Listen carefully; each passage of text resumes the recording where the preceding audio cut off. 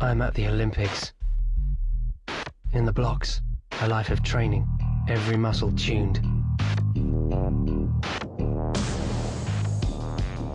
I ran after a ball until I was 16, then I discovered I just wanted to run. I trained seven hours a day, every day. Always with a constant pain in my ankle. My dream is to become the fastest white athlete ever. If I concentrate, if I use every last drop of adrenaline, I will break the 10 second barrier.